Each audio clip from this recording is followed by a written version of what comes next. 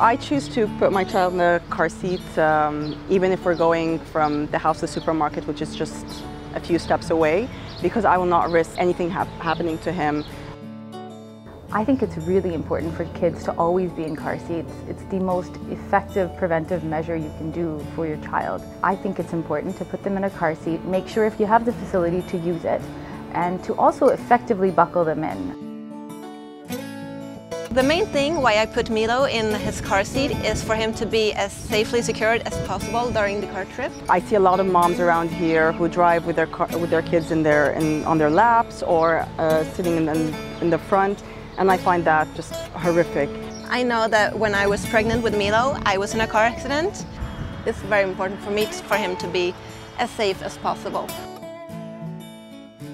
It only takes one second, just one second, and um, you can lose your child. So for me, it is the most important thing that once I'm in any car, not just my car, even when we travel, that the car seat's with us and that the child is buckled up well just before, even before we drive out of the garage. So I think it's important for drivers and parents and whoever else is involved to actually buckle them up and use them in the way that the manufacturer has recommended.